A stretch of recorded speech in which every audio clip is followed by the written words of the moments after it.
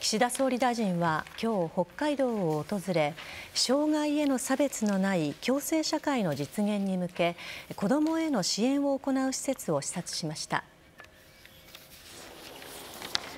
岸田総理は札幌市を訪れ発達に心配がある乳幼児を受け入れている施設を視察し職員や保護者らと意見を交わしました。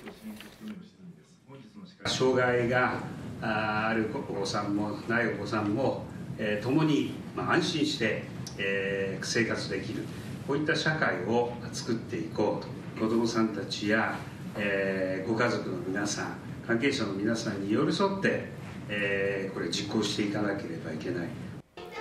岸田総理はこの後旧優生保護法に関する違憲判決も踏まえ自らを本部長とする障害者に対する偏見や差別のない共生社会の実現に向けた対策推進本部を設置し29日に初会合を開く方針を表明する見通しです。